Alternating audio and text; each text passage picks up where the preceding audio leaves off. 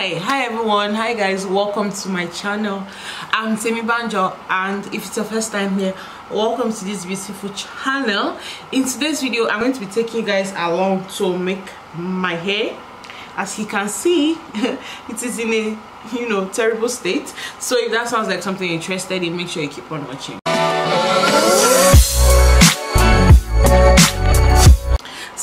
video i am going to get my hair done. Let me show you guys the style i am aiming for hoping to get.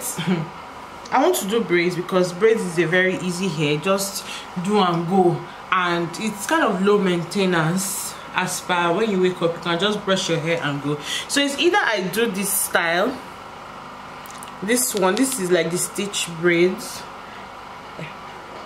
or i do this longer one. This one has um smaller or like call it? Smaller whatever. Or i do okay it's the same thing with this one too. So and this same color. So it's either i do the stitch braids this one either i do the stitch braids or i do this. So i think i'm going to go for this because this looks like it lasts longer than this. Well on my hair sha on my own hair. So i'm hoping my hairdresser or my hairstylist will be able to get either of this style. I'll show her both of them and she'll choose from which one she wants. And with the same color too. So get your bags get your popcorn and tag along. Let's go and make this hair. All right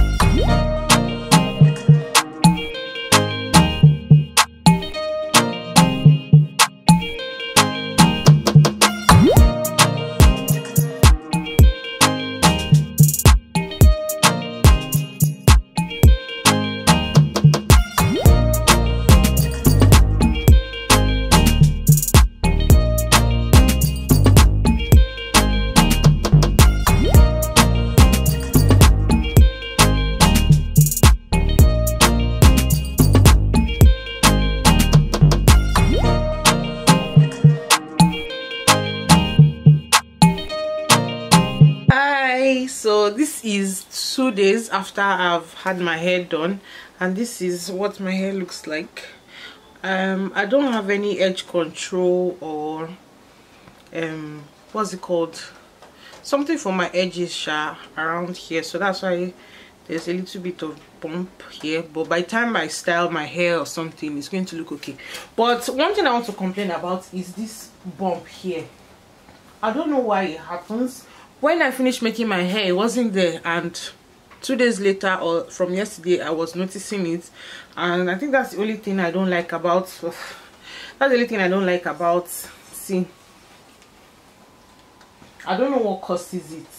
This bump. And i was telling her i don't want to have this bump here. She said no problem. You're not going to have it. Although when they finished making the hair i didn't see it there but now it has appeared. And i also got gel polish i did pedicure manicure. I got gel polish on because i just took out my um, long nails.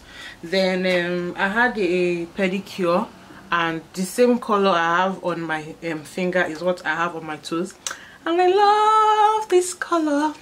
So about the pricing this was about 8000 naira with attachment but i priced it to like 7.5 so it was my hairstylist daughter that um, did my nails for me.